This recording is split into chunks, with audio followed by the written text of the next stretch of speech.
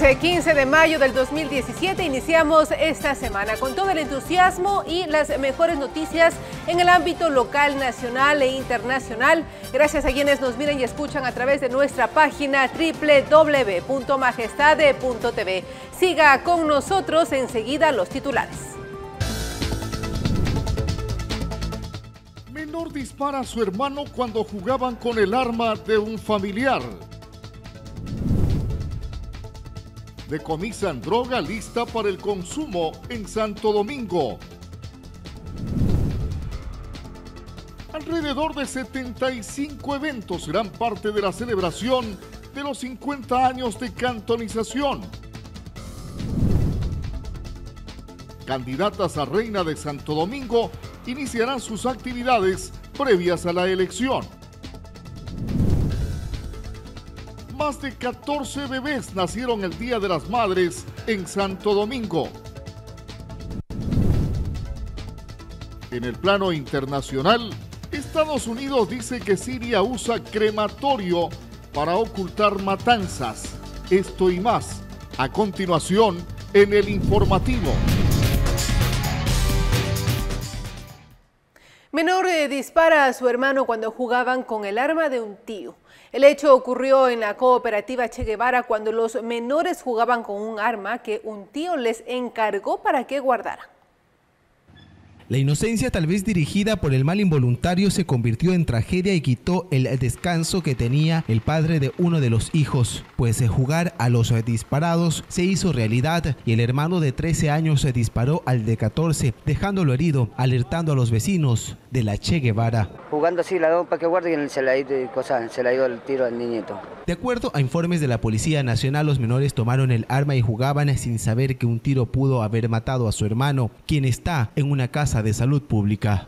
Eh, se le hizo los, se le ha hecho los primeros exámenes, eh, tal vez esté comprometido la columna, está cerca la columna, le van a hacer otras, otras placas para, ahorita está estable la irresponsabilidad pasó factura. Según versiones del padre, el menor fue enviado a guardar el arma por uno de sus familiares, pues la desobediencia también fue parte de este hecho que pudo costar la vida de un menor.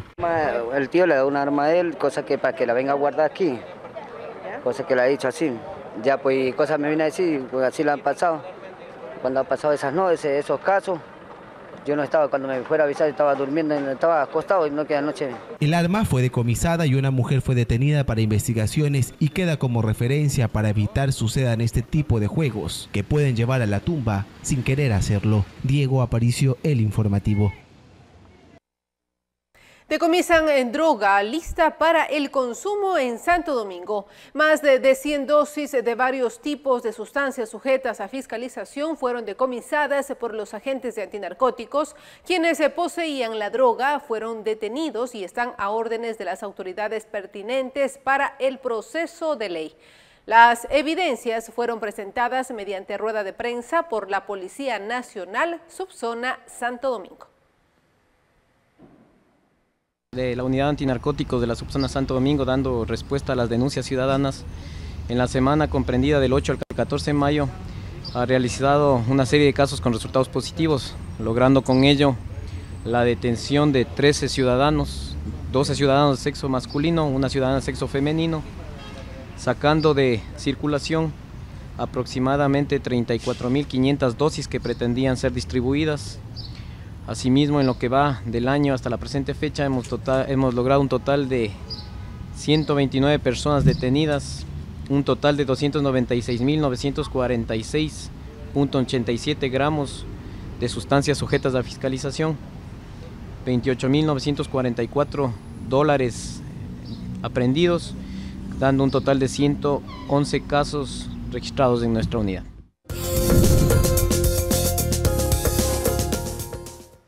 Alrededor de 75 eventos serán parte de los 50 años de cantonización.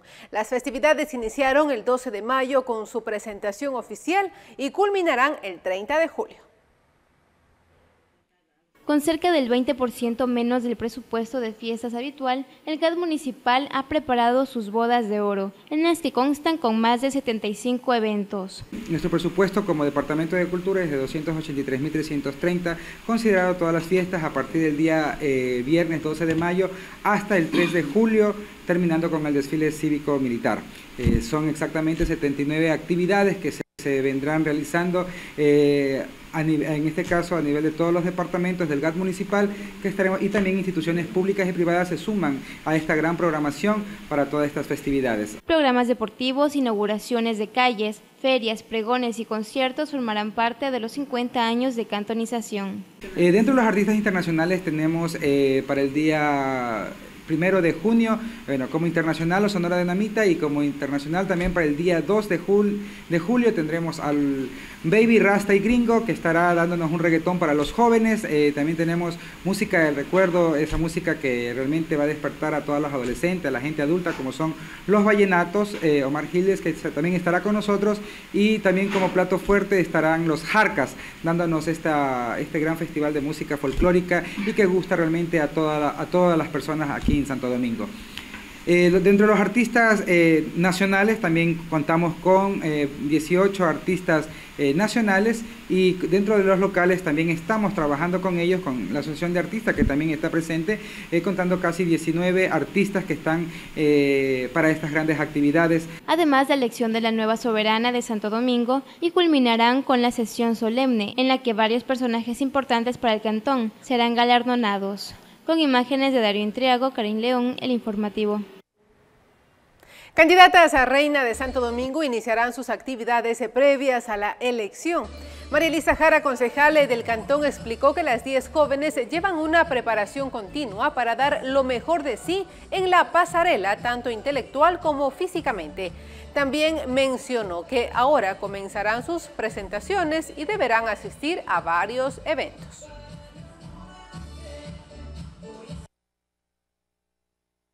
Pasado viernes pudimos eh, ver la belleza que acompañó a cada una de las candidatas. Son 10 hermosas candidatas que en realidad están poniendo lo mejor de sí. Tienen al mejor equipo también, eh, preparándolas, capacitándolas. Eh, llevan una difícil tarea de preparación diaria, la verdad. Es admirable verles la energía que tienen.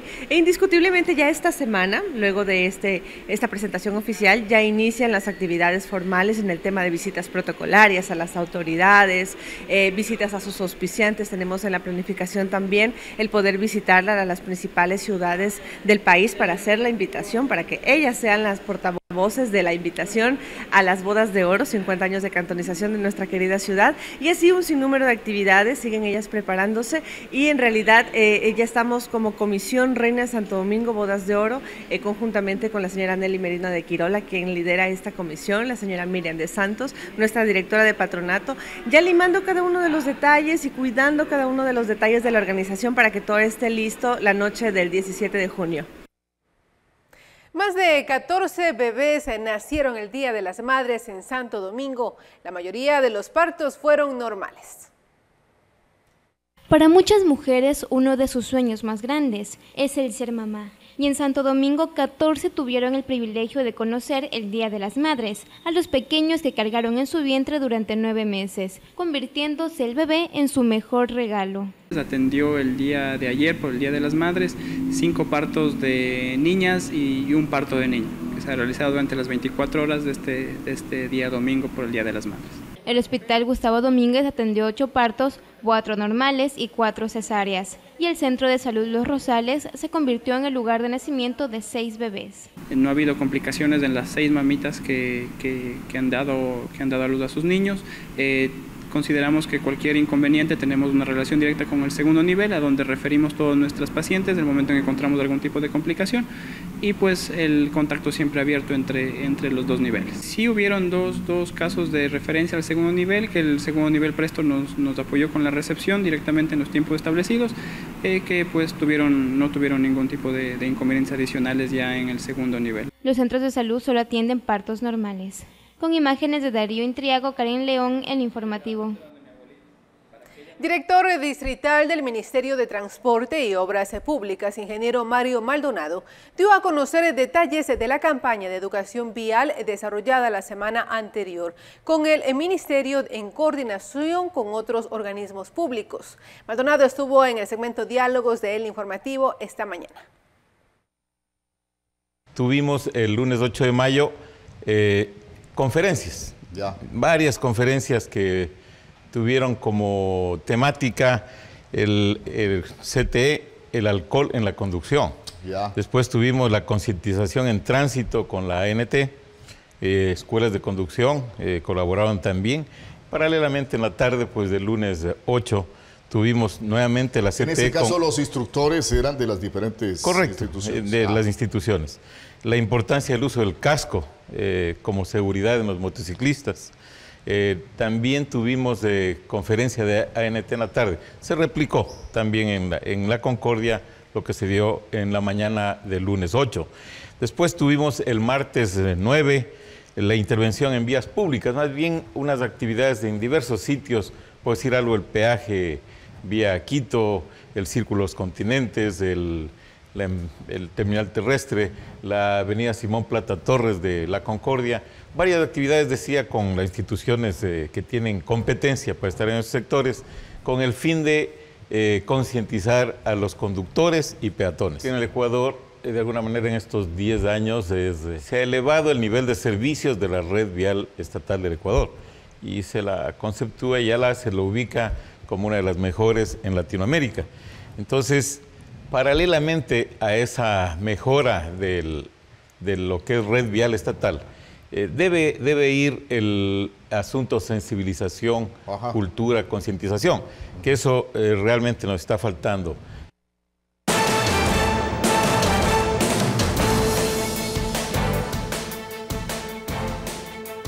De inmediato nos enlazamos con las cámaras del ECU 911 para observar lo que sucede en las principales avenidas y arterias de nuestra ciudad. 19 horas 10 minutos, estas imágenes son en vivo para ustedes y nos encontramos en el Parque Central. Ahí podemos observar eh, claramente con esta imagen no puedo divisar qué avenida es, si es la avenida Sáchila o la intersección de la, si es la avenida Sáchila con la intersección de la Avenida Quito, en el Parque Central. Parque Central de La Concordia. Nos encontramos en el cantón de La Concordia y observamos también que el tránsito vehicular a esta hora de la noche en La Concordia es normal. Regresamos a Santo Domingo y nos encontramos en el redondel de la Y del Colorado. Este es uno de los puntos claves aquí en nuestra provincia donde podemos divisar algunas avenidas principales, en este caso como la avenida Esmeraldas, observamos también el redondel de la familia y el ingreso o acceso de los vehículos de la avenida 29 de mayo. Continuamos también en este sector y ahí podemos divisar otro punto importante de Santo Domingo como es, eh, aquí podemos observar en la esquina es donde se aglutinan y se aglomeran gran cantidad de comerciantes, como es el inicio de la avenida 3 de Julio. Aquí observamos también, estábamos observando el acceso de la vía Quevedo. Regresamos al corazón de Santo Domingo en la avenida 29 de Mayo e Ibarra. Aquí el tránsito vehicular a esta hora de la noche es más abundante. En la calle Ibarra no pasa lo mismo que en la 29 de Mayo. Vehículos de transporte urbano y el taxismo también se hace presente en este sector central de la ciudad.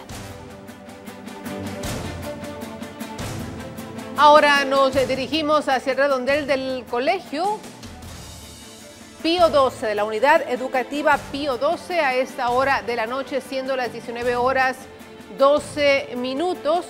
Y también eh, miramos que el tránsito vehicular no es abundante, más bien es normal en este sector importante de la ciudad. Gracias al ECU 911 que retomamos estas importantes imágenes de la ciudad para poder compartirla junto a ustedes y que puedan observar claramente cómo se desenvuelve el tránsito vehicular en el centro de la ciudad, en la Concordia, para que tomen las medidas del caso y también puedan optar por arterias eh, alternativas en caso de que se encuentre con eh, gran aglomeración de tráfico vehicular. Gracias al ECO 911 nuevamente por estas imágenes en vivo. Hacemos una pausa, quédese con nosotros, regresamos con más noticias para ustedes. Majestad de Televisión, el canal oficial de la belleza santo domingueña. Continuamos con más noticias. Hombre resbala y cae en el río Tuachi cuando pescaba. Según versiones de uno de sus hijos, Agustín Miraba le gustaba pescar, pero resbaló y se ahogó en las correntosas aguas del río Tuachi. Hasta este lunes la búsqueda continuaba sin tener resultados positivos desde el viernes último. Su mayor entretenimiento lo llevó a la muerte. Dos veces por semana en su tiempo libre gustaba de pescar y llevar a casa para alimentarse. El río Toachi era su mayor cómplice, ese que se lo llevó tras resbalar el jueves último que estaba cumpliendo con su entretenimiento. Lo que pasa es que él ha estado pescando, tenía dos templadores, dos nylos, y él, él deja un nylon a un lado y se va a pescar, baja al otro lado. Y al pasar al otro lado hay una piedra que se, que ahí se ve claramente que ha pisado en un monte, en una piedra y se resbala. Se va, ahí se cae, se ve que claramente el huella ha dejado. Incluso ha dejado la mochila, ha dejado allí, ha dejado los nylos, unas lombrices también ha dejado que tenía allí. Y, y, también ha sacado un pescado, también lo ha dejado también allá afuera. Entonces ahí, se, ahí la policía también llegó y Está la huella clarita ahí. Planificado estaba encontrarse con el abuelito agricultor este domingo y disfrutar de una comida amena, pero todo se terminó y desde el viernes último la búsqueda no cesa, pues aún no encuentran a Agustín Miramá, de 64 años de edad. La verdad que me da mucha pena, mucho dolor, pero yo sé que la vida es así. Ojalá algún día lo volvamos a ver, porque creemos en la resurrección y es posible que lo volvamos a ver. Él, tenía, él tiene seis hijos, eh, cinco varones y una mujer. Yo soy el cuarto de ellos.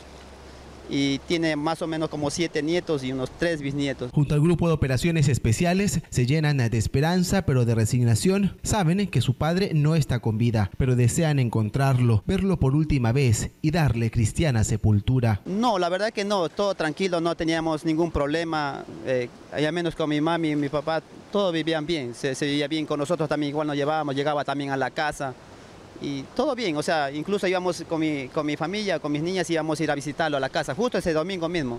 O sea, quedamos ya un arreglo entre semana ya para ir a visitar. Y mi niña, la pequeñita, dice, papi, yo quiero ir a ver a mis abuelitos.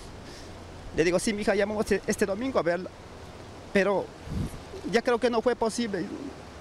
No sé cuándo lo volvamos a ver. Ojalá lo encontremos, aunque ya sabemos que nos resignamos a verlo, pero ya quizás sin vida, pero queremos siquiera que el cuerpo lo poderlo rescatar y poderle, poderle ver, sí. Los trabajos del GOE continuarán. Esperan tener resultados, cumplir con encontrar al pescador, al abuelo, al amigo que dejó ese vacío irreparable entre los familiares, quienes lloran su partida, pero con desespero solo quieren encontrarlo. Con imágenes de Andy Cajamarca, Diego Aparicio, El Informativo.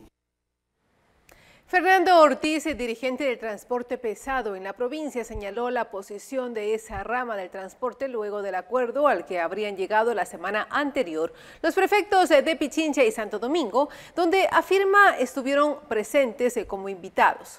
Ortiz estuvo en el segmento Diálogos de El Informativo. La semana pasada fue una semana muy álgida, muy tensionante para el sector transportista de la provincia. Se dieron negociaciones la ciudad de Quito, entre las prefecturas de Santo Domingo y de Pichincha. Tuvimos la oportunidad de estar presentes, tuvimos la oportunidad de ser invitados personalmente ah, por el economista Baroja. Estuvimos en las dos sesiones del día lunes y del día martes, en la sesión del fideicomiso, que fue la sesión la más álgida que hemos nosotros podido presenciar y que realmente estábamos molestos porque no se había cumplido el acuerdo del acta firmada el 25 de abril. Y pues nosotros definitivamente dimos a los señores prefectos una decisión última que era la que nosotros habíamos adoptado ante la falta de acuerdo y ante la falta del incumplimiento del acuerdo, más por el, por el GAT provincial de Pichincha que por Santo Domingo, que Santo Domingo había planteado ya su, su, posición y que para nosotros era perfectamente clara. La decisión se ha tomado el día jueves en la tarde. Nosotros hemos respaldado el peaje de Santo Domingo, don Osvaldo. Eso hemos sido muy claros. Esa ha sido la posición de, del sector transportista. El peaje en Santo Domingo y el peaje de, de Aloa a un dólar por eje, como ha escrito la posición. el retiro del peaje intermedio, hemos pedido el desmontaje del peaje de Tandapi, lo hemos pedido. y eh, la reducción de la doble tarifa en Aloha. Esa fue la posición del transportista indirectamente, que eso conlleva a que hemos respaldado la acción del señor Perfecto. Mucho gusto me dio, don Osvaldo, mucho gusto me dio el observar cómo jóvenes eh, del equipo técnico de Santo Domingo, juventud de nuestra provincia, cómo defienden a la provincia con bases, con estructura, bien definidos. Eh, me ha causado mucha impresión y quiero felicitar al equipo técnico de Santo Domingo. El eh, momento cívico se realizó en la gobernación de la provincia. Esta actividad la hacen todos los lunes en diferentes sitios del cantón ante la presencia de varias autoridades. Esta vez el momento cívico institucional que ofrece el municipio de Santo Domingo todos los lunes se realizó en las instalaciones de la gobernación de la provincia, en la avenida Abraham Calazacón y de los Incas. Estuvo presidido por Raúl Quesada, vicealcalde del cantón en representación del alcalde Víctor Manuel Quirola Maldonado y líder Olaya, gobernador de la provincia. Asistieron además los señores concejales y más autoridades invitadas. En las palabras de bienvenida, Tania Mendoza, intendenta de policía, destacó la iniciativa del municipio de continuar con los momentos cívicos para fortalecer el civismo y los niveles de empoderamiento institucional. En el desarrollo del programa se presentó la estudiante Isabel Santillán, de la Unidad Educativa Reino de Inglaterra, quien ofreció un poema en honor a la madre. Líder Olaya, gobernador de la provincia, resaltó el proceso histórico que vive Santo Domingo, con sus 50 años de cantonización, trayectoria en la que muchas instituciones públicas y privadas han tenido un rol protagónico en su desarrollo. Por su parte, Raúl Quesada, vicealcalde del cantón, expresó que el municipio continuará con este proceso de fortalecimiento del civismo en los niños, jóvenes y ciudadanía en general. Destacó la unidad del Consejo Municipal en procura de lograr los objetivos de la institución. Karen León, El Informativo. Conozca al adolescente prodigio que con apenas 11 años domina la chalanería en la categoría adultos. Dentro del festival se encuentra realizando en la provincia el último fin de semana. Jean-Pierre Zambrano tiene solo 11 años y es un chalán profesional. Un chalán es un jinete de caballos.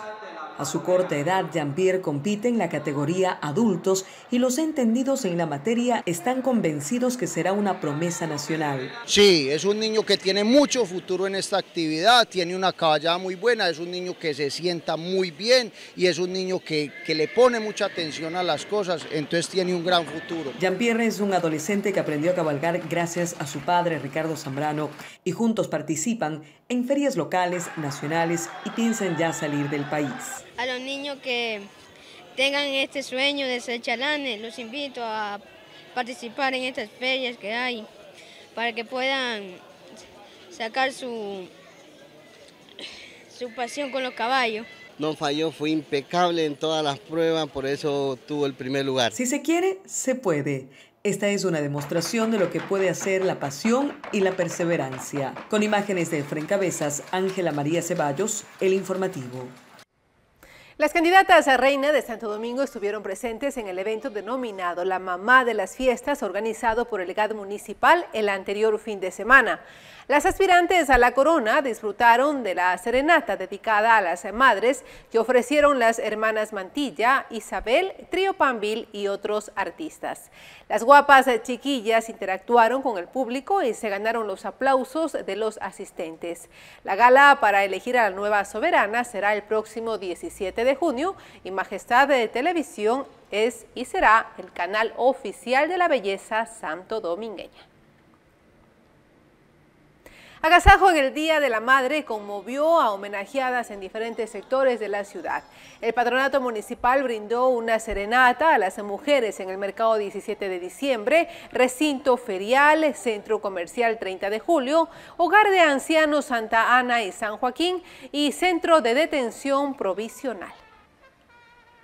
Eh, a ver, de mi parte un feliz día a todas las mujeres y a todas las madres trabajadoras como nosotras, igual a las que están por ser madres también, que tengan un lindo día, eh, lindo día y mes de las madres. Padres de familia piden que no se reubique a sus hijos en la unidad educativa Alfredo Pérez Chiriboga a la escuela del siglo XXI de la urbanización Ciudad Verde. Justifican su reclamo diciendo que la unidad educativa donde pretenden enviarles está lejos de su domicilio.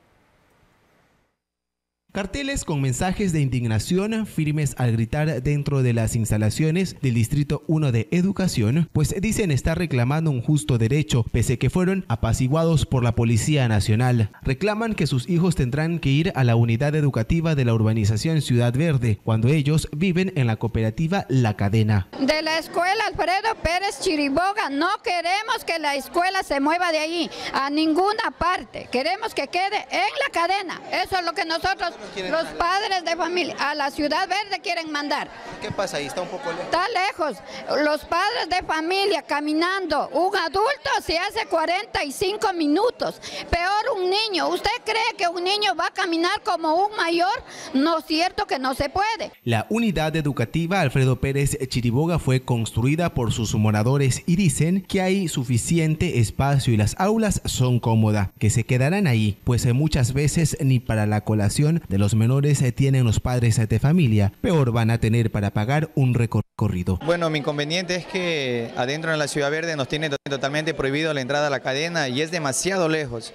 La escuela está situada en una parte que hay monte de un lado, monte del otro lado y la urbanización está en crecimiento, pero llegará todavía cuántos años. La escuela está situada en, una, en un hueco, en una zanja. En un día que llueva fuerte, eso se inundará totalmente. Las escuelas aparentemente son armadas por material que casi no sirve, tal vez un año o dos años se dañará. Y la escuela en cambio que tenemos nosotros es de hormigón armado, bloque, muy bien eh, de trabajada. Esperaban hablar con la directora, pero justificaron que la principal no estaba en la dirección, pero ellos continuarán hasta que se llegue a un acuerdo. Además, sostienen que las escuelas nuevas o denominadas siglo XXI no son cómodas y que el calor es el principal problema, sabiendo que son más de 40 menores los que se educan por aula. No, no hemos sido atendidos por nadie de ahí. Solamente dicen que la escuela va a cambiar para la ciudad verde y es una ciudad privada que no nos permiten entrar.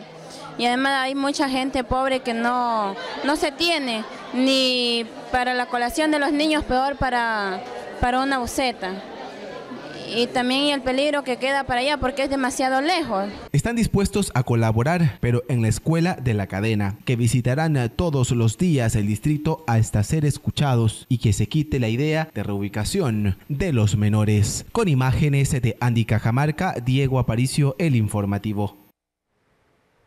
Colectivo GLBTI presentó su cuarta agenda por sus derechos e inclusión. Sus actividades iniciarán el miércoles 17 de mayo y culminarán el 25 de junio. Los biopolímeros es uno de los temas que el colectivo GLBTI promocionará con fuerza, pues consideran necesario concienciar a la gente para que deje de usarlos, ya que son peligrosos para la salud, causando deformaciones o la muerte. Tenemos un taller eh, con el Ministerio de Salud Pública 23 de 02 sobre el uso inadecuado de biopolímeros. En este taller se va a dar a conocer sobre la eficacia eh, de, diferentes este, especialistas en temas del uso de los no biopolímeros para que las chicas trans tengan una mejor salud y para que no estén exponiendo sus vidas al peligro. Y el 14 de junio tenemos el video eh, sobre el, el mal uso de los biopolímeros. El Distrito de Salud y la Defensoría Pública también formarán parte de estas actividades, que serán celebradas en honor al colectivo GLBTI.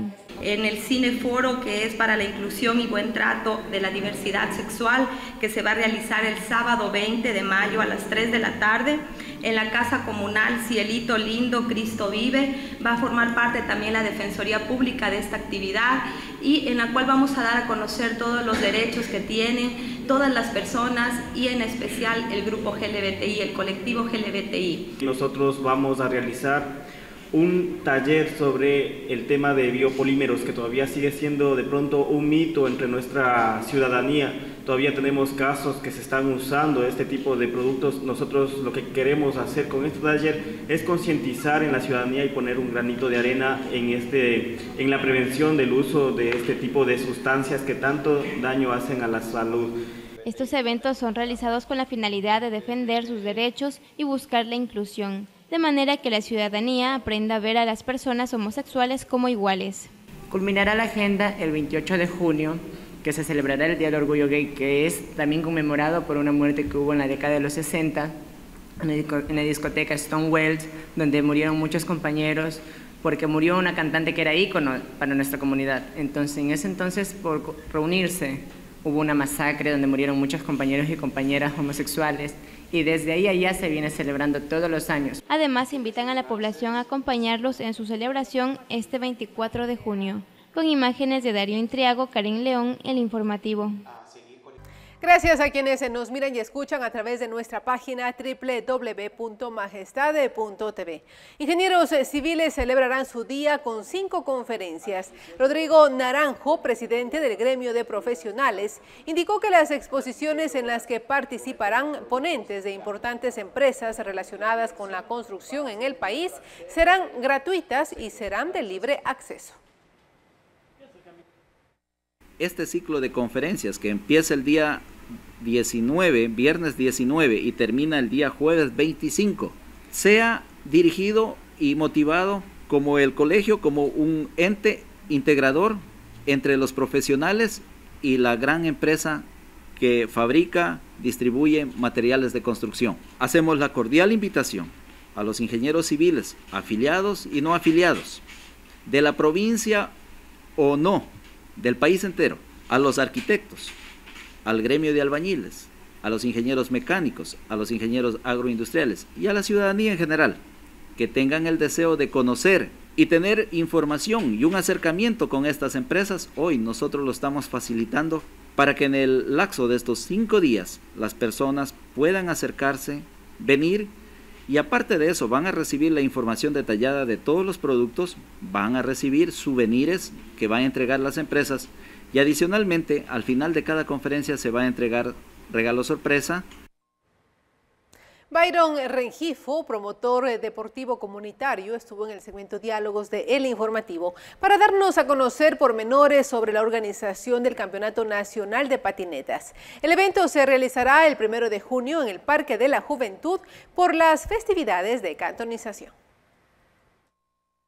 canales referenciales en Santo Domingo que nos han apoyado para poder visibilizar nuestro deporte, ya que en otras ciudades se ha visto un gran crecimiento, por ejemplo en Guayaquil, en Quito, ha habido la construcción de skateparks, que son lugares destinados para este tipo de, de deportes, que además brindan un lugar apropiado para que las familias puedan llegar, puedan ver a los chicos. Lo que queremos hacer nosotros es que la gente vea que somos gente de bien, que no somos mamarrachos, que no somos borrachos, que no somos drogadictos. Va a ser un concurso nacional de skateboard donde hemos invitado al primer skater del Ecuador, el skate nació en Las Carmelitas, en Guayaquil, en 1973 y de ahí se ha propagado por todo el Ecuador hasta el día de hoy que se ha masificado. Las categorías serán niños, mujeres, el mejor truco en la rampa y el mejor truco en la caja de deslice.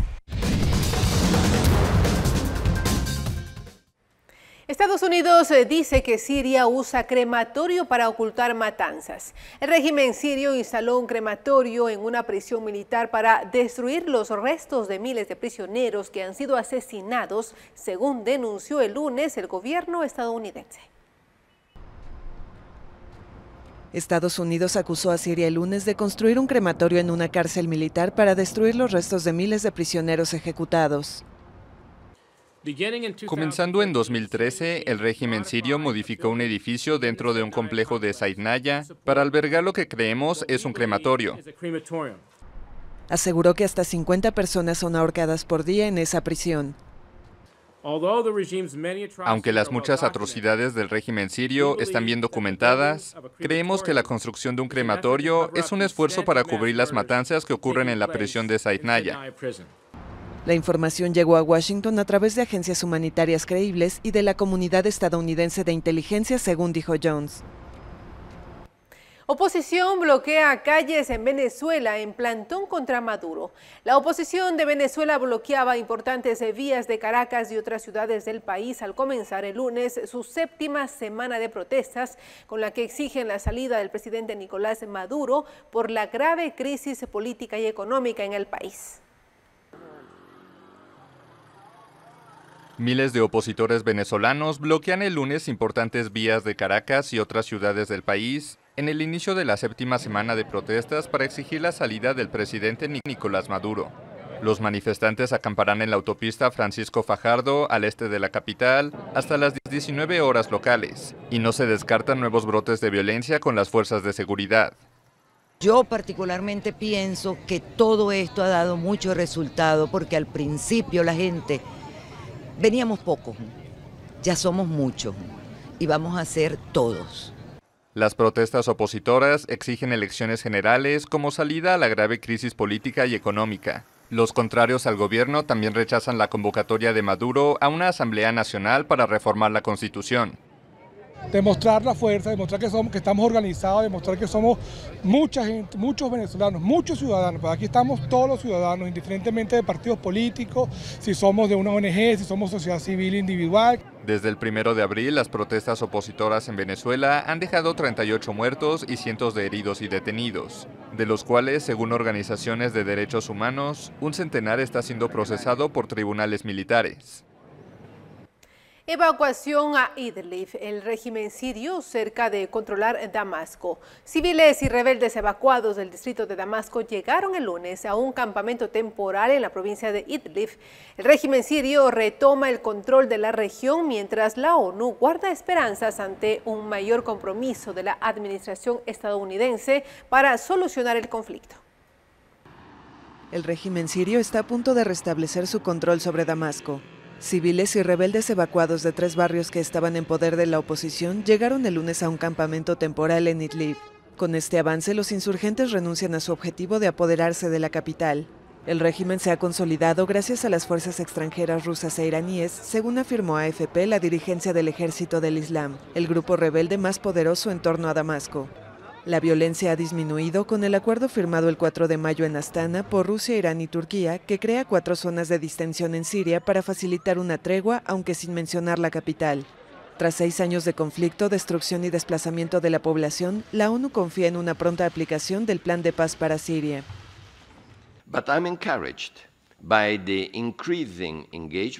Estoy motivado por el creciente compromiso, el creciente interés de la administración estadounidense para lograr una desescalada, una reducción en la violencia y la posibilidad de una implementación completa de la 2254. Lo estoy. De Mistura agregó que las pláticas podrían continuarse durante las celebraciones del Ramadán que inicia el 27 de mayo. Un conservador moderado nuevo primer ministro de Francia. El nuevo presidente francés, Emmanuel Macron, nombró el lunes primer ministro al diputado conservador moderado Eduardo Philippe. El diputado conservador moderado Edouard Philippe es el nuevo primer ministro de Francia. Fue designado el lunes por el flamante presidente Emmanuel Macron. Con la elección de este diputado conservador, Macron intenta atraer a la derecha y obtener así una mayoría en junio en la Asamblea Nacional, donde quiere impulsar las reformas liberales y sociales que prometió durante su campaña.